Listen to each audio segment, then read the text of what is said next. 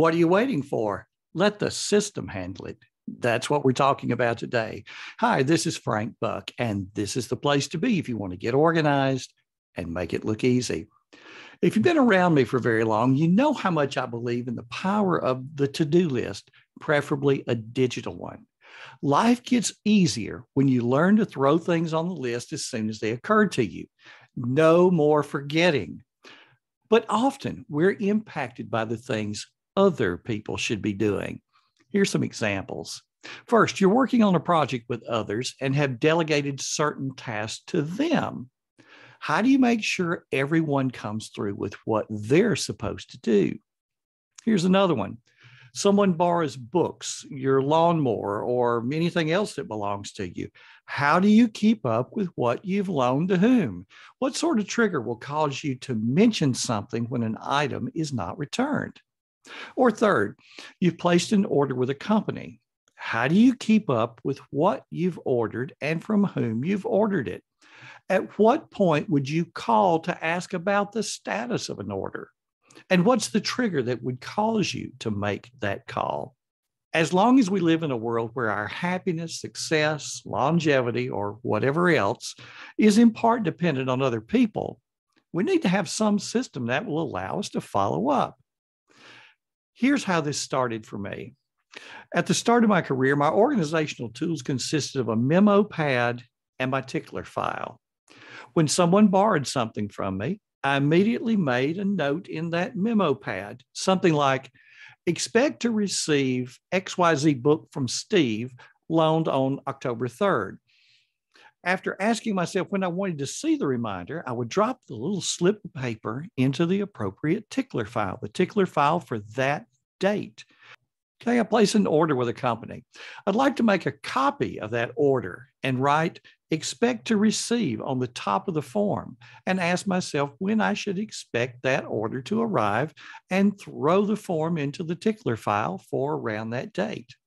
Or when someone was supposed to handle a task and then get back to me, a little note saying something like, expect to receive reply from John went into the tickler file for the date I wanted to see that little note and be ready to follow up.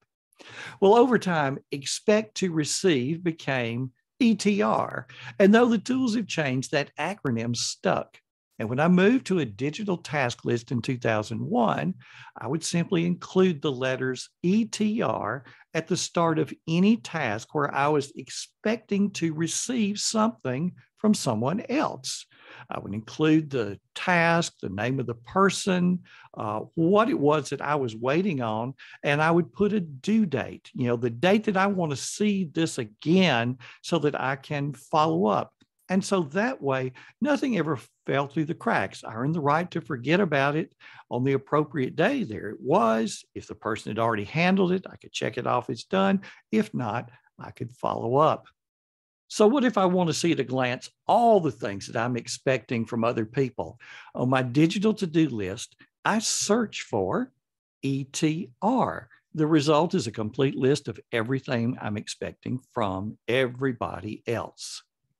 So now enter the ETR tag. For a long time, I used keywords in the task name to provide context. I would add the word call to any task that involved a phone call or errand into any task that involved getting in the car. Then I would simply enter the keyword into the search window, and that worked. There were all the phone calls or there were all the errands. Now I use tags. I've created an ETR tag and I attach it to any task where I'm expecting to receive something from someone else. So when I want to see all of those ETRs, all of those things that other people owe me, I just simply click on the ETR tag in the sidebar and there's my list. Now, here's a pro tip. In Remember the Milk, after clicking on that ETR tag for the first time, I go up to that cog at the top of the of the task list. It's right beside where you see the incomplete and completed labels. And I choose to sort by due date. So that way I see the ETR items that are overdue or due now at the top of the list and the ETR items for the future at the bottom. So I've got some chronology there and I'm not worried about those things that I'm expecting to receive in a month, but I do want to follow up on the things that are uh, due now or that are maybe overdue. So the need grows greater as our careers advance the further we advance in our chosen professions, the more our success depends on getting work done through other people. Yes, training is important so that people can come through without follow up. And yes, having confidence in those with whom we interact is important. However, people do drop the ball. And when that happens, the consequences are often felt far up the chain of command. When we delegate, it takes only a second to decide when we should expect the completion of the task and make the appropriate entry on the digital to do list. That simple habit provides peace of mind.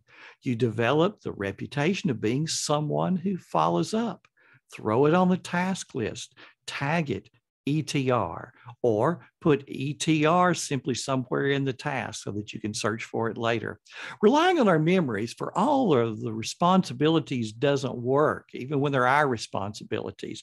But now when we're trying to add to that, remembering all the things that we're expecting other people to do makes things a whole lot more complex. It's just a recipe for disaster. Our lives are complex enough as it is, and that complexity requires simple systems.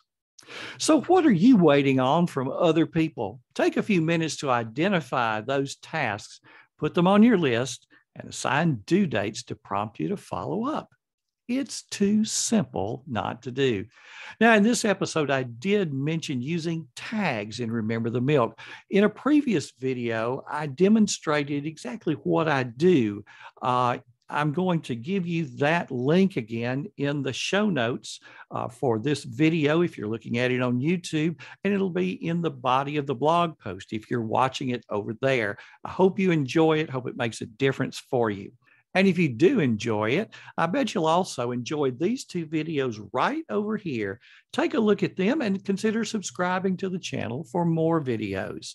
Thanks for stopping by today. This has been Frank Buck, helping you get organized and make it look easy.